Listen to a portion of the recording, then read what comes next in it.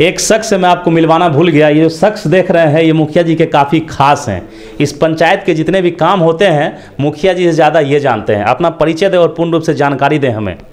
सबसे पहले मैं बिहार न्यूज़ को हमारी तरफ़ से प्रणाम। मेरा नाम अजय प्रियदर्शी हुआ। मैं इनके यहाँ, इनके ऑफ़िस में लगभग आठ नौ साल से कार्य कर रहा हूँ। और मैंने कि पब्लिक का जो भी कार्य होता है आप देखते हैं। हम देखते हैं। किसी भी तरह की समस्या रहती है सबसे पहले आप देखते हैं। बिल्कुल बिल्कुल। मतलब मुखिया जी तक काफ़ी बात पहुंचाते हैं पब्लिक की जो भी समस्या जो भी डिमांड लेके आते हैं पब्लिक हाँ।